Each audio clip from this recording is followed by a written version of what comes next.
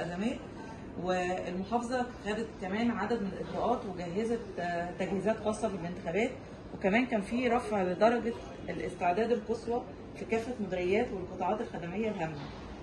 آه، ده غرفة العمليات الرئيسية في ديوان عام محافظه المنوفية.